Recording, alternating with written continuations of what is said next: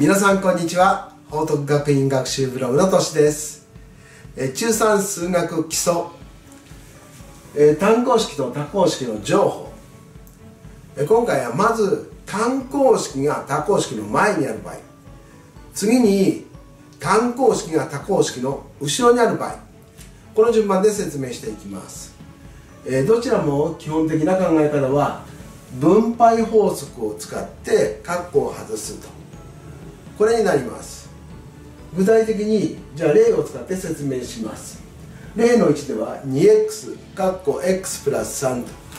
この 2x と括弧の x プラス3を掛け算するんですけれどこれを分配法則を使って計算します。前の 2x と括弧の中の x これをまず最初に掛け算します。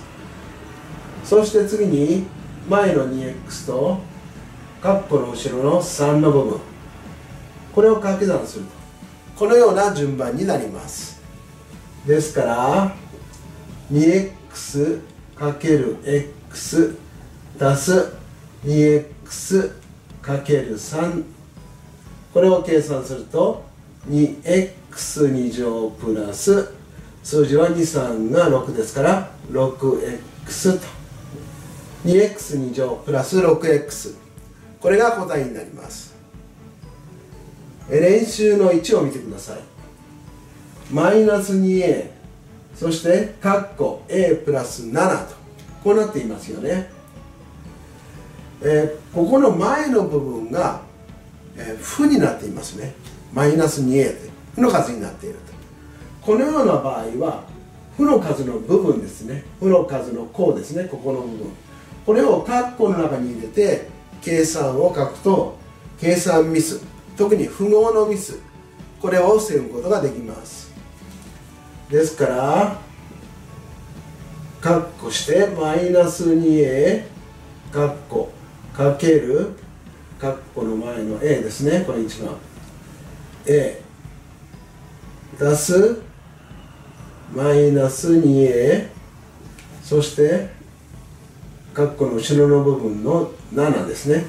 かける7これをやります。そうするとマイナス 2a2 乗マイナス 2a と7をかけるのでマイナス 14a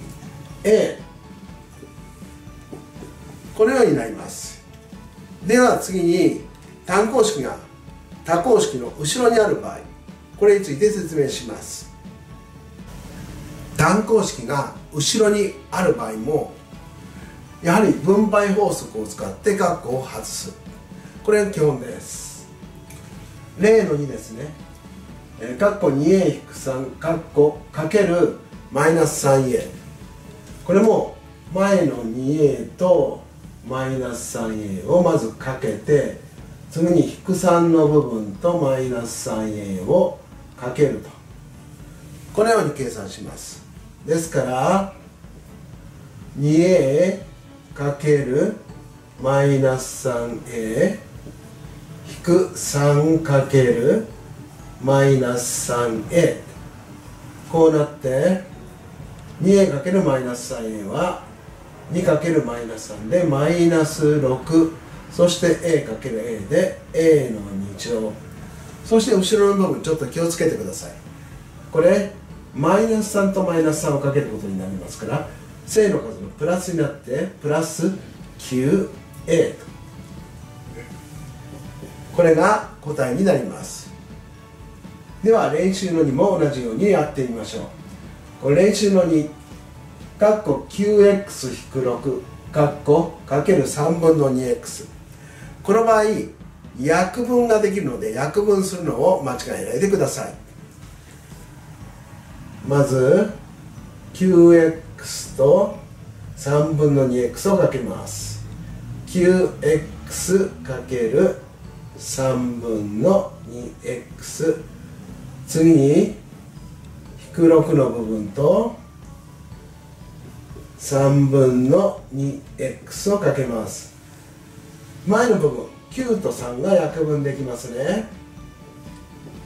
後ろの部分、えー、6と3が約分できます。ですから数字の部分は 3×2 で6で x の2乗引く数字の部分はマイナス 2×2 でマイナス4で x と。6x2 乗引く 4x これが答えになります。このように単項式と多項式の乗法掛け算は分配法則を使って括弧を外して計算します。今日も最後まで見ていただきどうもありがとうございました。ではまたお会いしましょう。さようなら。